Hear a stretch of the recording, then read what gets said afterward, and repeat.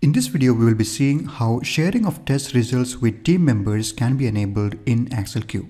So sharing of test results with team members can be done in two ways. First is you can do it during the runtime itself. So when we click on this run button over here and when we run or schedule a test, the run model opens up and in the run model, we see that there is an option saying notify to. So click here and here this small dialog opens up where you can provide the email address of the team members to whom you can share the test result. So just provide the email addresses of the members to whom you want to share the results here or if you are having the Teams or Slack channel set up then you can just specify the name of the Slack or the Teams channel here and click on this tick button over here and you'll be good to go. So that is how you can share test results during the runtime. Now, if you want to share it offline, that is if you want to share it later after you run the test, that is also possible. And for that, all you have to do is click on the results over here from the results tab. And then when the test result opens up, we see this small three dot button over here. Just click on this. And here we have an option saying share report. So click on the share report. And again, here you can just provide the email address of the members to whom you want to share this report.